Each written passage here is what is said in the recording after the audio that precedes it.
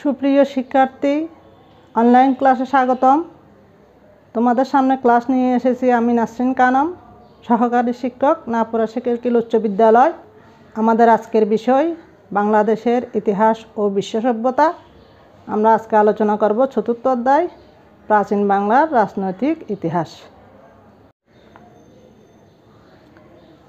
পাল রাজাদের শাসনকাল থেকে ধারাবাহিকভাবে বাংলার রাজনৈতিক ইতিহাস সম্পর্কে ধারণা লাভ করা যায়। এর আগের ইতিহাস খুঁজে পাওয়া সহজ নয়। আমরা ইতিহাস আলোচনা করতে গেলে প্রায় সময়ই আগের ইতিহাস খুঁজে পাওয়া সম্ভব নয়, উপাদান খুঁজে পাওয়া যায়নি, এরকম কিছু জিনিসের সম্মুখীন হই। কারণ আগে তেমনভাবে লিখার প্রচলন ছিল না, যার কারণে ইতিহাস নিখুঁতভাবে লিপিবদ্ধ করা ছিল না।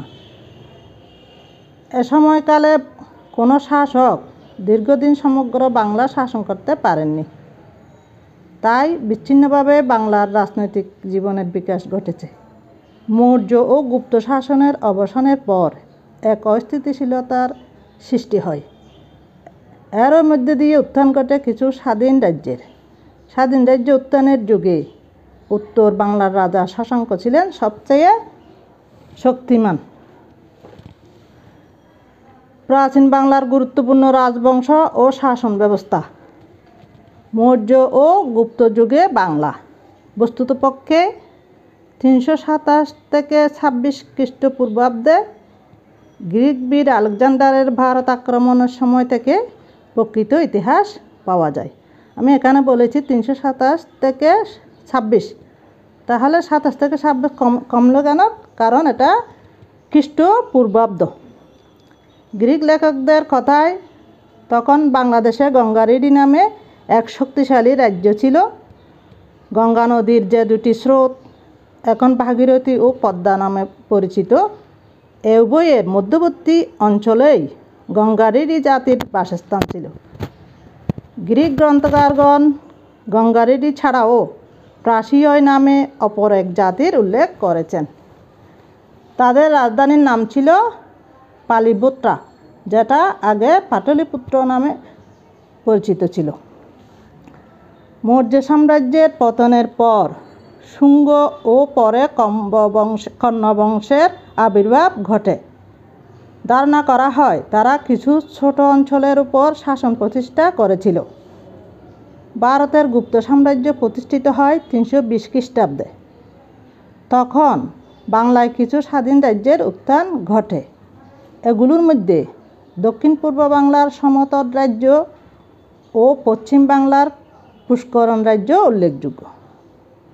গুপ্ত পরবর্তী বাংলা। বিশাল গুপ্ত সাম্রাজ্যের পতনের পর সারা উত্তর ভারতে ক্ষুদ্র ক্ষুদ্র স্বাধীন রাজবংশের উদ্ভব হয়।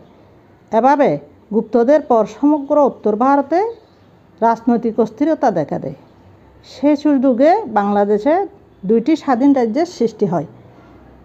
একটি হলো বঙ্গ। এর অবস্থান ছিল পূর্ব বাংলা ও পশ্চিম বাংলার দক্ষিণাঞ্চলে।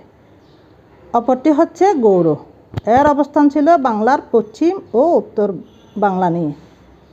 স্বাধীন বঙ্গরাজ্য গুপ্ত সাম্রাজ্যের দুর্বলতার সুযোগে বঙ্গ জনপদে একটি স্বাধীন রাজ্যের উদ্ভব ঘটে। তাম্রশাসন অর্থাৎ তখনকার সময় রাজাদের কোনো ঘোষণা আমার পাতে লিখে তারপর ঘোষণা করা হতো। এ থাম্র শাসন থেকে জানা যায় যে গুচন্দ্র ধর্মাদিত্য ও সমাচার দেব নামে তিনজন রাজা স্বাধীন বঙ্গরাজ্য শাসন করতেন। তারা সবাই মহারাজাদিরাজ উপাধি গ্রহণ করেছিলেন। তাদের রাজত্বকাল ছিল পাঁচশো পঁচিশ খ্রিস্টাব্দ থেকে ছয়শো খ্রিস্টাব্দের মধ্যে। এরপর আলোচনা করব স্বাধীন গৌড় রাজ্য নিয়ে। গুপ্ত সাম্রাজ্যের পতনের পর ষষ্ঠ শতকে পরবর্তী গুপ্ত বংশ নামে পরিচিত গুপ্ত অধিকারী রাজাগণ উত্তর বাংলা, পশ্চিম বাংলার উত্তরাংশ ও মগধে ক্ষমতা বিস্তার করেছিলেন। ষষ্ঠ শতকের মাঝামাঝি সময়ে এ অঞ্চলেই গৌড় জনপদ নামে পরিচিতি লাভ করে। শশাঙ্ক। শশাঙ্কের পরিচয়, তার উত্থান ও জীবন কাহিনী আজও পণ্ডিতদের নিকট পরিষ্কার নয়। গুপ্ত রাজাদের অধীনে বড় কোনো অঞ্চলের শাসককে বলা হতো মহাসামন্ত। ধারণা করা হয়, শশাঙ্ক ছিলেন গুপ্ত রাজা মহাসেনগুপ্তের একজন মহাসামন্ত। এবং তার পুত্র অথবা বাতুসপুত্র শশাঙ্কের রাজধানী ছিল কর্ণসুবর্ণ।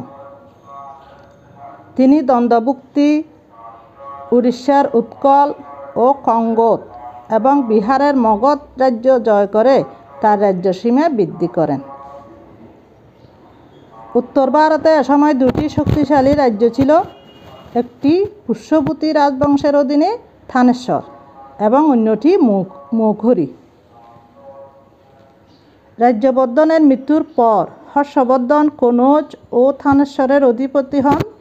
প্রতিশোধ নেওয়ার জন্য তিনি শশাঙ্কের বিরুদ্ধে বিরাট সৈন্যবাহিনী নিয়ে অগ্রসর হন। এ লক্ষ্যে তিনি আসামের রাজা ভাস্কর বর্মনের সাথে মিত্রতা করেন। কিন্তু এ সংঘর্ষের ফলাফল বা আদৌ কোনো সংঘর্ষ হয়েছিল কিনা সে বিষয়ে সঠিকভাবে জানা যায় না।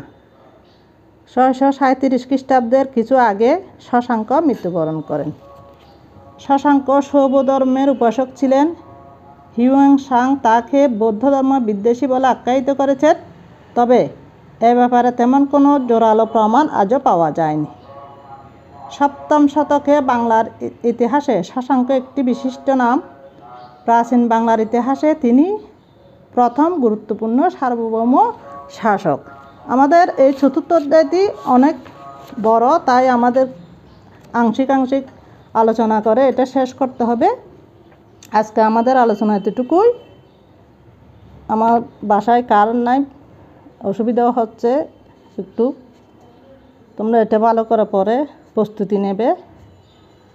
আমি এখানে শেষ করছি। সবাই ভালো থাকবে, নিরাপদ থাকবে। হাফেজ।